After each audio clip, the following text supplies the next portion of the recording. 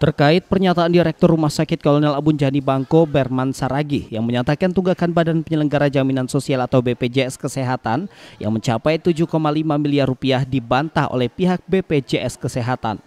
Staf verifikasi penjamin manfaat BPJS Kesehatan Merangin, Syukron, membenarkan ada piutang terhadap Rumah Sakit Kolonel Abunjani Bangko, namun jumlahnya 3,8 miliar rupiah.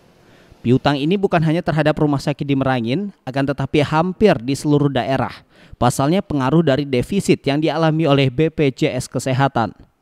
Terkait piutang ini, pihak BPJS Kesehatan mengaku belum mengetahui pasti kapan akan dibayarkan.